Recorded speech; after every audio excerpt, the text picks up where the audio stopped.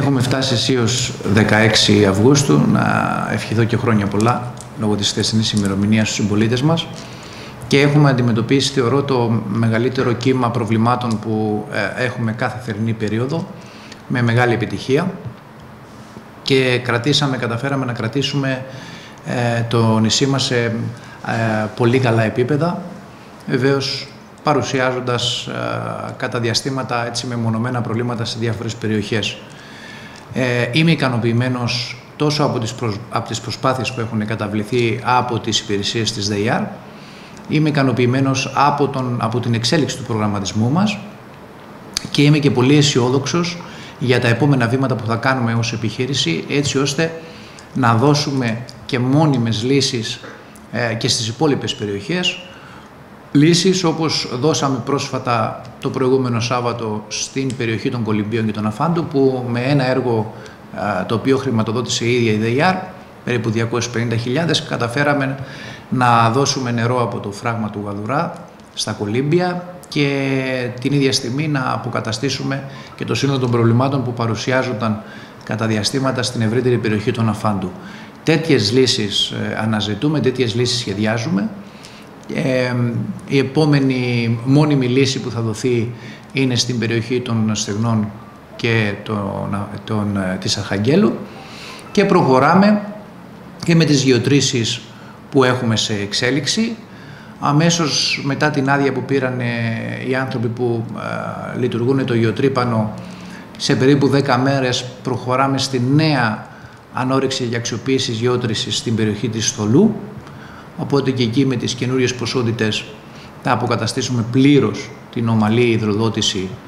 της περιοχής της Στολού και της παραλιακής ζώνης της ξενοδοχειακής και συνεχίζουμε με το επόμενο βήμα το οποίο θα είναι μια μόνιμη αποκατάσταση στο καινούριο πρόβλημα που μας δημιουργήθηκε το οποίο δεν το περιμέναμε κιόλας που είναι στην περιοχή του Μανδρικού και της Κρητινίας και εκεί με μια νέα γεώτρηση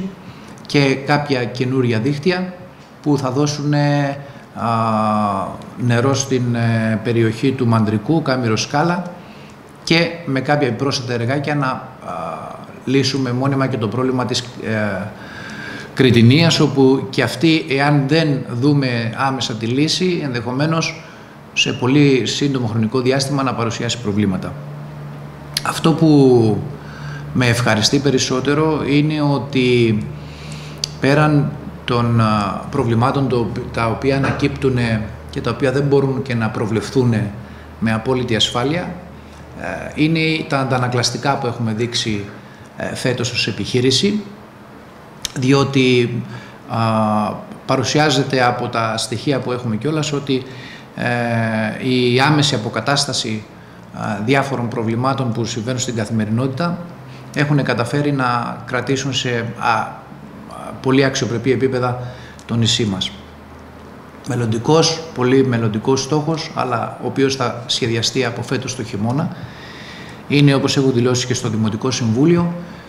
ε, η μελέτη δύο μονάδων ε, αφαλάτωσης, μία σε κάθε πλευρά, έτσι ώστε να προσπαθήσουμε και να δώσουμε συμπληρωματικά λύσεις με το φράγμα διότι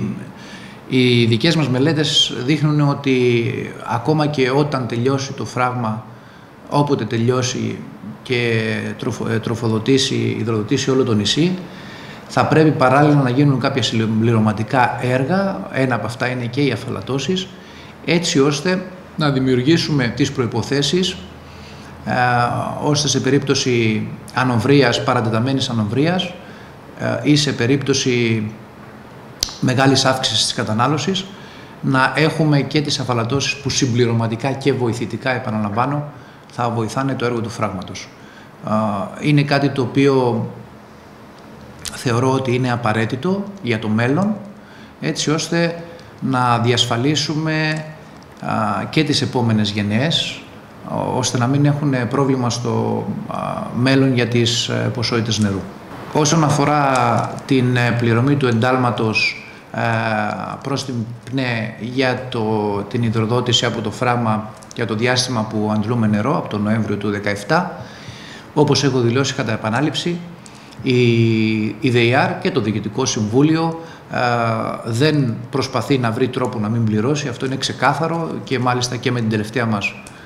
συνεδρίαση που κάναμε ειδικά για αυτό το θέμα έχουμε αποφασίσει ομόφωνα ότι πρέπει να πληρωθεί το ένταλμα. Ήδη βρισκόμαστε στην ακύρωση του προηγούμενου γιατί τεχνικά πρέπει να ακυρωθεί και να εκδώσουμε το νέο ε, ένταλμα και να το στείλουμε στον Επίτροπο έτσι ώστε να μην υπάρξει κανένα πρόβλημα μελλοντικά στις πληρωμές της προγραμματικής μας σύμβασης, των τιμολογίων της προγραμματικής μας σύμβασης. Είναι θέμα χρόνου, δεν απαιτούνται κάποιες αλλαγές ε, στο ένταλμα γιατί αυτή τη στιγμή ισχύουν και καινούργια δεδομένα τα οποία μας έχει, βρει, μας έχει φέρει ο Κλειστένης όσον αφορά τις υπογραφές. Άρα θεωρώ ότι περίπου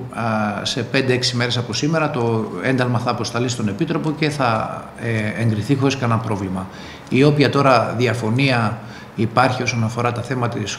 της, του χλωρίου κτλ.